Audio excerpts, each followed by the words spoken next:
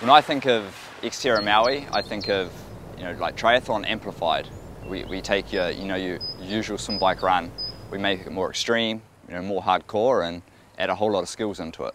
I think the season has been, been a massive success for me. Um, one at home again at Xterra New Zealand, which is obviously massive. I mean, to win three times on your home course um, is very, very special. And then uh, we did something a little bit different this year. Um, we packed up and we shipped off to the US to chase the Pan American Tour.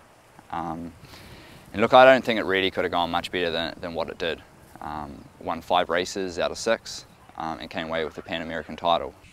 My expectations are exactly the same as what my goal is. I don't get on a start line, you know, to race to lose, and, and that is exactly the same mindset that I'll be taking into Sunday.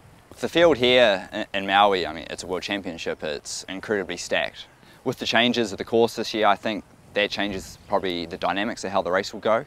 I mean, you look at the big hitters from, from last year, and they'll still be the big hitters this year, um, but I think they'll probably be amplified. For me to win, you know, world champs, I think would just be the pinnacle of, of everything I've been striving for for a long time. Um, you know, when you're a kid, you dream of, of, winning a world title or, you know, going to Olympics or something like this.